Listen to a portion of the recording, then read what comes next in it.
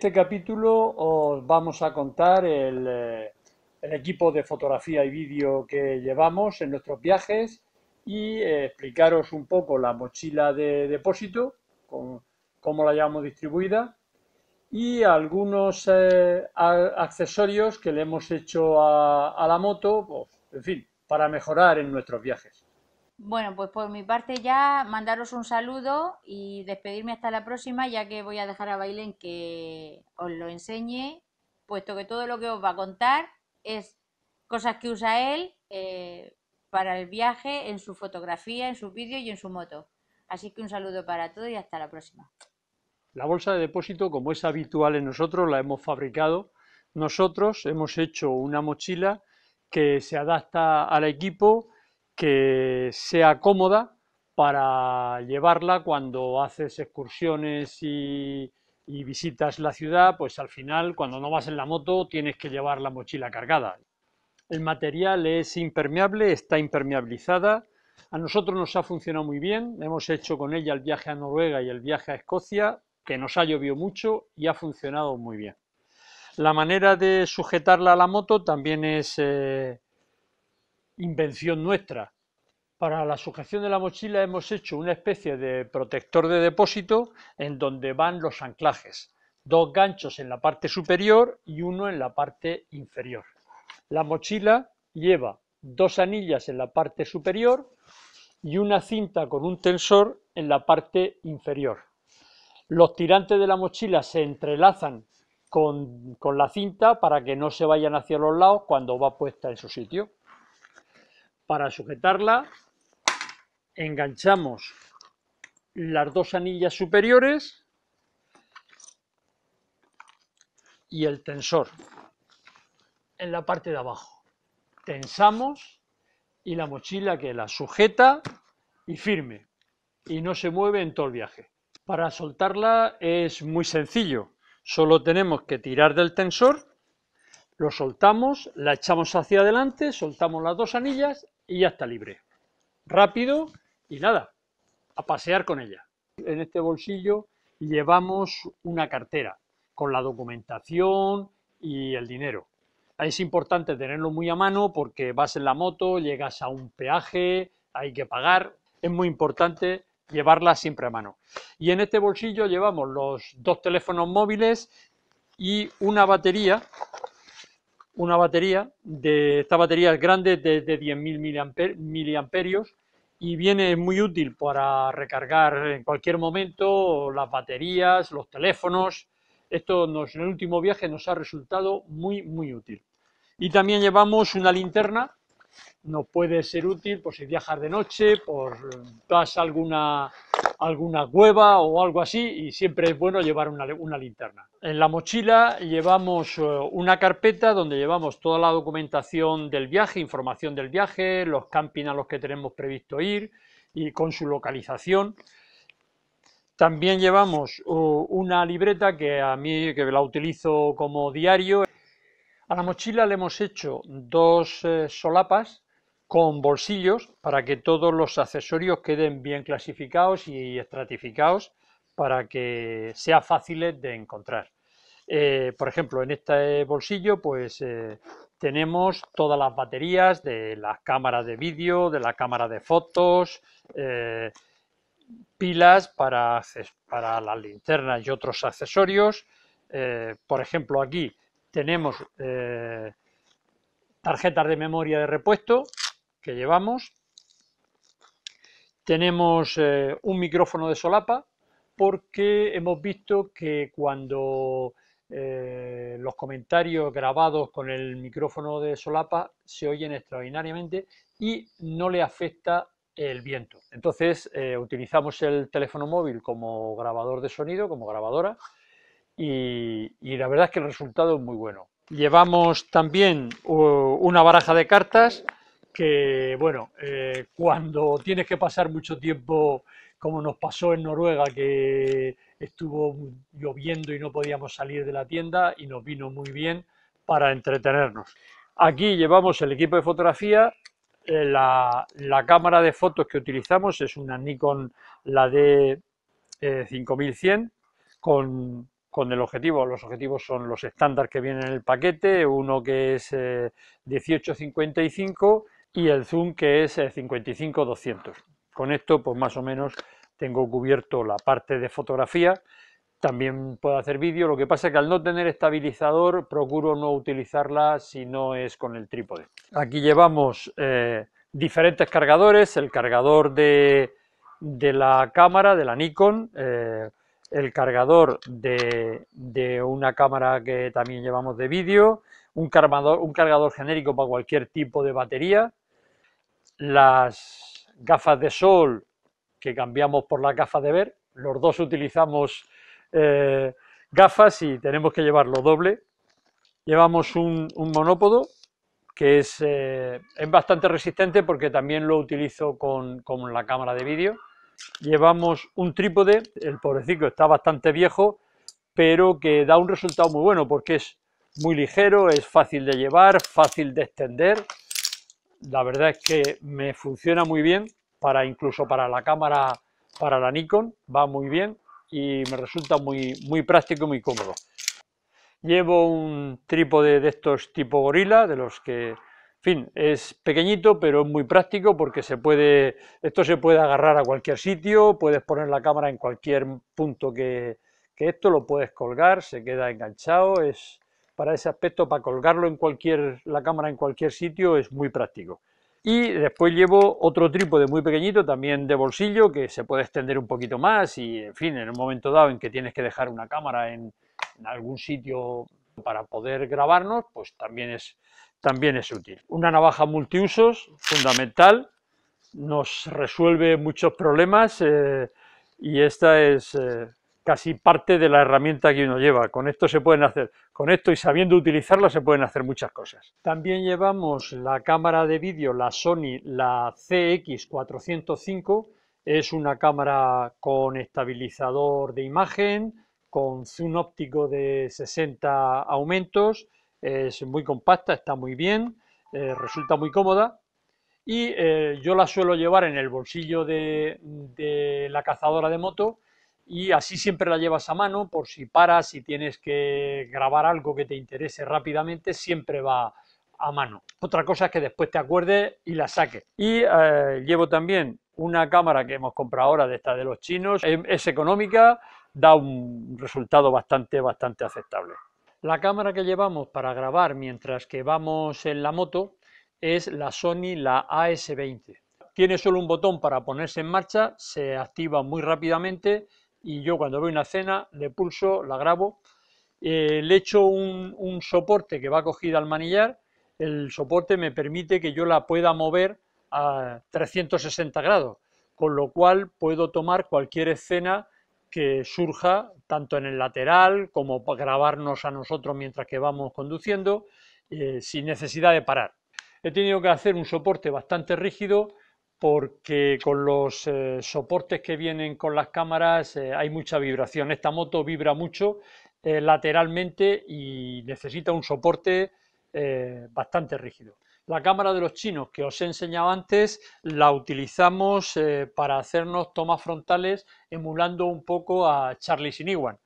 él lleva un brazo rígido delante pero en las, carreteras europeas y no puedes, en las autopistas y eso, no puedes eh, ir con ese, con ese brazo, ¿no? Entonces, eh, hemos fabricado uno que se pliega junto con las defensas y cuando llegas a una carretera de estas secundarias y, o camino, entonces ahí la desplegamos, lleva una brida que aflojas y entonces la despliegas, esta cuerda hace que no baje más de la cuenta, se aprieta la brida y colocamos la cámara. Y así podemos, tomar, podemos tener una toma frontal eh, a mayor distancia en la que se ve más parte de la moto que con la que llevamos en el manillar. El resto de la electrónica la llevamos en esta maleta, en la tapa, para que vaya bien protegido, enganchada aquí con un tridente para que no se caiga. Y eh, en esta carpeta eh, llevamos una tablet, un disco duro. La tablet la utilizamos para descargar todas las tarjetas al disco duro. Hay que hacerlo casi todos los días para disponer siempre de espacio e ir tranquilos. También llevamos un GPS de repuesto, uno viejo que todavía funciona, y eh, los cables. En estas dos bolsas llevamos todos los cables que necesitamos para conectar y eh, los diferentes equipos a los cargadores. Y aquí también llevamos dos cargadores pequeñitos de 220 y dos cargadores de de 12 voltios, eh, aunque son de mechero, pero están adaptados para enchufarlos con un enchufe Facton. Son cargadores de tres puestos cada, cada uno. Todos los cables eh, van numerados porque así son más fáciles de encontrar. Llevamos aquí una lista con todos los cables que, llevamos. Nosotros llevamos todo el equipo preparado para poder eh, cargar con la batería de la moto, con 12 voltios. Entonces, eh, en la infladora llevamos un cable que lo conectamos al mechero de la moto y por un lado nos sirve para, como hemos visto antes, para inflar los colchones, pero este cable lo podemos desconectar de la infladora y tenemos dos eh, conectores Facton que, en los cuales enchufamos eh, los cargadores que hemos visto antes, los cargadores de 12 voltios, y aquí por la noche en la tienda podemos cargar todo el equipo de electrónica. Otro de los accesorios que hemos hecho, que aunque a veces puede parecer una chorrada, pero para nosotros nos viene muy bien, es que le hemos puesto un punto de, toma de corriente dentro de la maleta. Le hemos puesto un conector plegable para que no moleste cuando está la maleta llena y entonces aquí conectamos el, cargador el cargador con los tres puestos y aquí ya podemos poner a cargar cualquier cualquier cosa que queda protegido dentro de la, maleta. lo bueno que tiene es que eh, nosotros podemos quitar eh, la maleta sin tener que desconectar ningún cable. Lleva dos tetones que son los que transmiten la corriente a estas dos placas y entonces cuando lo tenemos desconectado no tenemos corriente y en el momento que ponemos la maleta en su sitio ya tenemos corriente. Aprovechando el hueco de la defensa hemos hecho dos bolsas, una para cada lado, donde llevamos los chubasqueros, la ropa de agua y también llevamos la, eh, la botella de CO2 de repuesto de los chalecos airbag. Esto está muy bien porque así vayamos donde vayamos siempre llevamos los chubasqueros, que nunca se sabe cuándo va a llover. Nosotros cuando llegamos a una ciudad o vamos a hacer una visita, siempre dejamos los cascos colgados de, aquí de las barras del top case, porque llevar, ir cargado con ellos es un rollo, no hay quien visite nada. Le hemos puesto aquí debajo, cogido a las mismas barras, un cable de estos que se tienen para atar las bicicletas, entonces este cable lo pasamos por, un, por una mentonera, por la otra mentonera por detrás de la barra y enganchamos. Así ya no se puede no se pueden quitar si no llevas unas tenazas y cortas el cable. Y el otro problema es qué haces con las chaquetas de moto cuando llegas a un sitio que quieres pasear o quieres hacer algo. Llevamos un cable de acero, no es muy grueso, pero en fin, tenemos una chaqueta, el cable lo pasamos por la manga de la chaqueta y lo enganchamos aquí. El otro cable por la manga de la otra chaqueta y lo enganchamos aquí. De esta manera, no sé si lo veréis, de esta manera las chaquetas están cogidas por la manga. Y entonces esto lo sujetamos al cable que coge los cascos. Y entonces esto, para sujetarlo un poco más y que no quede aquí suelto, llevamos una, una correa, una cincha, que pues la pasamos, por ejemplo, por aquí y al asa de, la moto y bueno, pues así se queda un poco recogido. Ya el que se lo quiera llevar tiene que traer unos, eh, unos alicates y cortar el cable. Una cosa que nunca me ha gustado de, de esta moto es que, que cuando le pones la pata de cabra se queda muy tumbada. Cuando vas muy cargado, eh, María Dolores está arriba y, hay que poner la derecha, hay que hacer fuerza, le tengo que decir que se eche para allá, que si no, no puedo. Entonces lo que, lo que pensé es en hacerle un suplemento, pero que lo pueda poner y quitar a voluntad. Hice este suplemento, que quiero que esté eh, más vertical, lo pongo y se queda la moto más vertical. Quiero que se quede más tumbada, pues le doy, lo quito y se queda la moto más tumbada. Puede ir eh, la pata plegada tanto si va con el suplemento plegado como si lo llevo el suplemento extendido. Funciona exactamente igual. Veía a gente por ahí con, los suplementos eh, de, la, de cúpula y me parecía que era algo interesante, que me podía, en fin, proteger un poquito más, sobre todo en, cuando vas por alta velocidad. Entonces, buscando por internet, compré un suplemento barato de, AliExpress, del que viene para sujetarse aquí en el centro. Lo puse y estuve viajando con él, pero a mí me resultaba molesto el, ese mazacote aquí en el centro que se te queda en medio de la carretera y le he puesto los suplementos en los laterales, le corté el trozo que, que viene aquí abajo donde se enganchaba el soporte central y bueno, así queda, me gusta más, no molesta visualmente, no me molesta visualmente, funciona estupendamente, funciona muy bien. Yo creo que incluso vibra menos porque el, peso se reparte en, el, en la cúpula, se reparte más y, yo creo que incluso vibra menos. Para viajar, evidentemente, hoy tienes que ir con GPS.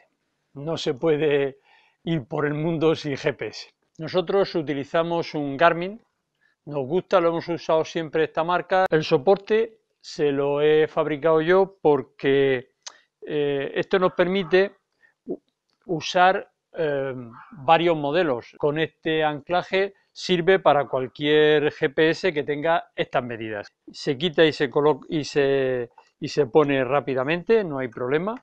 Funciona bastante seguro. Nosotros no hemos optado por uno de, moto.